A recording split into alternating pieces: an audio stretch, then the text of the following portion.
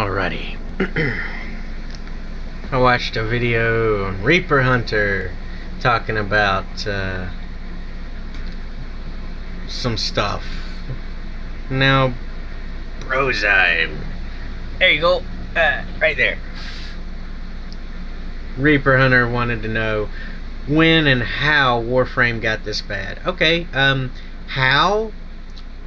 Reaper Hunter, you want an answer? Yeah, your video was three months ago. Okay, I, yeah, sure.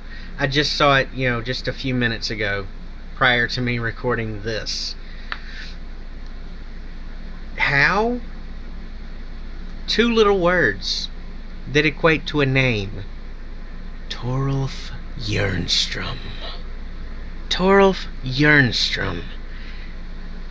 That's the name you need to research, Reaper Hunter. That's the name that led to what's going on in your video three months ago and this video right now.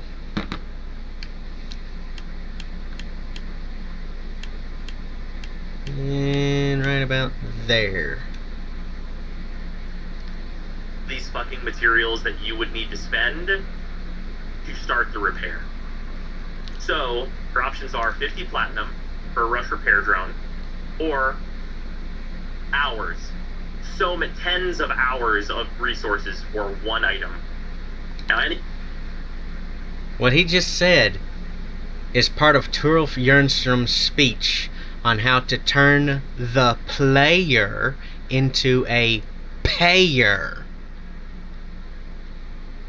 Let your payer, your your sheeple, let them know that they have the option to pay to win or to grind for the resources required to win or to get lucky with RNG to win.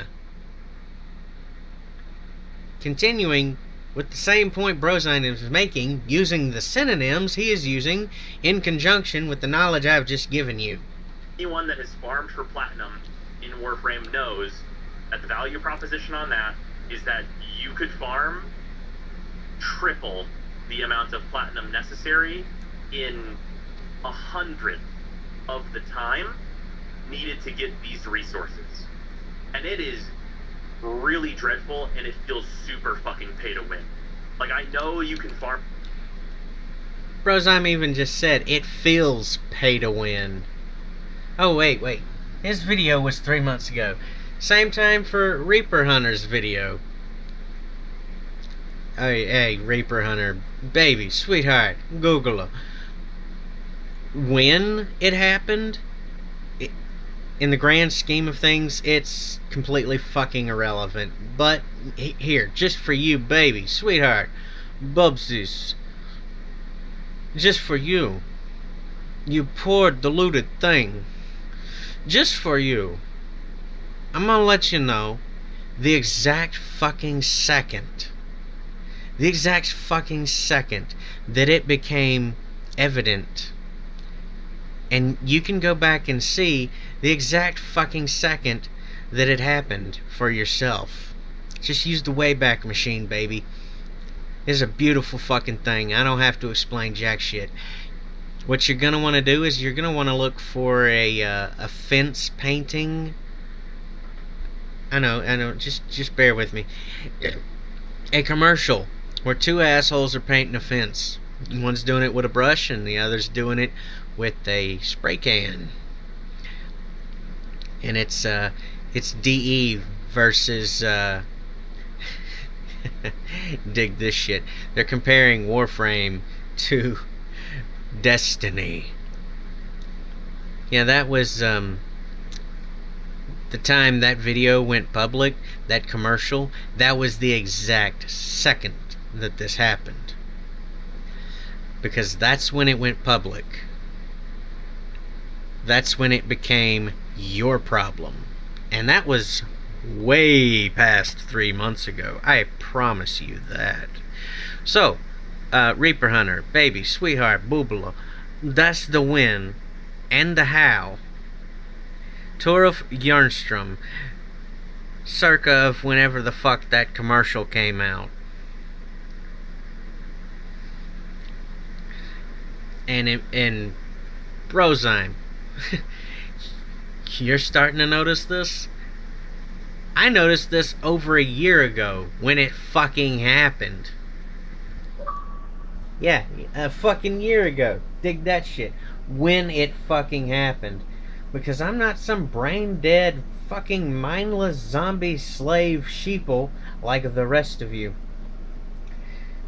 You want proof to um, what I'm saying? Well, here's a few things you might want to research. Yeah, I know. Yeah, shut the fuck up.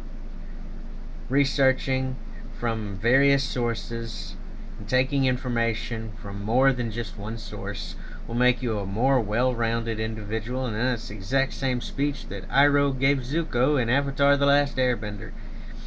So, listen the fuck up, plebeian sheeple fucks. I'm gonna learn your ass something today. Look up learned helplessness. Psychological paperwork on that one. Look it up.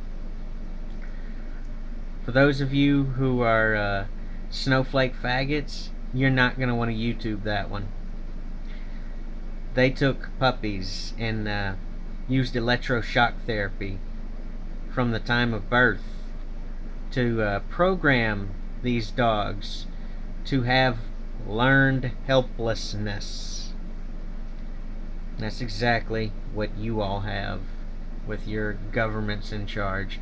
And uh, all if null. Yeah, look up that one. That's a mathematic term. It'll help you understand how all these psychology things apply to this small thing known as uh, your individual video game. It applies to the industry as a whole, it also applies to each individual game and each individual person playing that game. All if null and then Torulf Jernstrom. All that shit that he threw out, his entire series of speeches that went on YouTube in 2013, 2014 that people ignored. Yeah, look that the fuck up. Um, herd mentality. Yeah, that's another one. Uh, psychology uh, 102. Let's see, there's uh, there's a few more. What the fuck were those? Hmm. There's so much because psychology is just the latest religion that humanity uses to fuck itself over. It's the long it's the latest tool in a line of tools for the assholes in charge to say, "We're better than you." Oh yeah, yeah, this uh you went to see a psychiatrist, a psychologist? Okay, you got problems. Me, I don't I don't got problems. Yeah, I act the same fucking way you do. I act like I'm better than anyone else. I, I spit at on people. I cuss at them. I, I call them fucking bitches just like you do. But yeah, I don't have your problems. That's how psychology works. It's it's a psycho fuck fuck you. You went and got tested, so you have the problem. While the the assholes in charge, they have the same fucking symptoms you have, yet Where's their fucking problem? So, there you go. Herd mentality. All if null. Torulf Jernstrom. RNG. Pay to win. Or as uh, Jim Sterling says, fee to pay. Because there is no winning when it becomes fee to pay. And that is exactly what happened a year ago. Actually, over a year ago, but time is a fucking joke to me. Because history repeats itself. In humanity, you're too fucking stupid, dumb, ignorant, and naive to listen to stop this circle jerk fallacy of you're better than everyone else around you. Prove me wrong because you're not going to. you're, you're gonna be the same bitches you always are. But anyway, Reaper Hunter, Brozime, those few things I mentioned. That'll help you understand well, about that much more out of the um, the whole planet size scale in comparison to what's actually going on. It'll help you understand just, you know, a teeny smidgen extra of what's really going on. And if you really want to go further with it, hit me the fuck up. I'll explain everything as, as in detail as I possibly can. to the best of my choiceful, limited knowledge of the situation because there's some things I don't even fucking want to know. After seeing the surface level of how fucked it is, I don't even want to know what's beneath the surface. If it looks like the shit that I've uh, seen it as, as another YouTuber, Canadian Genius, AVE, says, if it looks like shit, tastes like shit, spit it out. It's probably shit. He's probably got a few extra if then if then so statements in there, but same fucking diff. Don't argue the semantics. Oh yeah, yeah, that's another one. Semantics. Yeah, Reaper Hunter, Brozime. Look up semantics as well. Don't just go over the uh, the notes that someone else will tell you go over their notes plus the the resource material the the the fucking short notes for dummies version. Buy the actual source material yourself. It's going to cost you a few hundred dollars. Buy the actual resource material yourself. It's going to cost you a few hundred dollars. Make your own fucking notes. Compare your notes to the short notes and see what's the same and what's different, and then compare those two to other people's notes. See what's same and what's the difference. And look up those synonyms. Don't forget, always cross-reference those synonyms and the context in which they are used. Because synonyms are like a virus they propagate and they breed and then all of a sudden after they've gone from one person to the next to the other. They've become an antonym. A complete fucking lie. Synonyms are a very dangerous thing.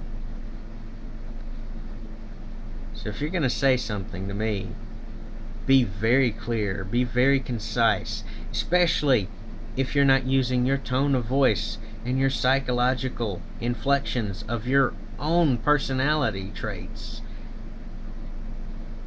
Then, if it's just text on a screen or uh, an email or something like that, be extremely precise and concise as to what you say and what you mean and try to match up those two things because they are completely different things. What you say and what you mean need to be matched up as perfectly as possible given the horrid limitations and boundaries of American English and the horrible problem of synonyms.